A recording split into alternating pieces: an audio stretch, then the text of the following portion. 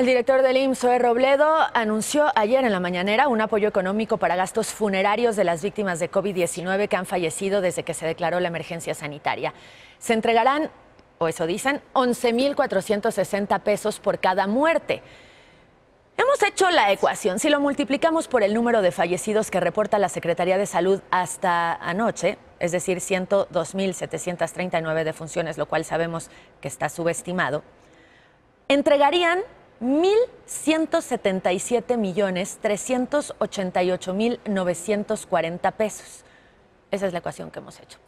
Los requisitos para recibir este apoyo son que la muerte haya ocurrido entre el 18 de marzo de este año y hasta que se declare el fin de la emergencia, para lo cual todavía faltan meses. La solicitud se recibirá desde el 2 de diciembre y hasta un año después del fallecimiento.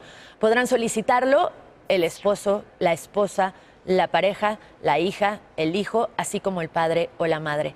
Tendrán que presentar un acta de defunción que indique que la causa de la muerte haya sido COVID-19 y documentos que acrediten el parentesco.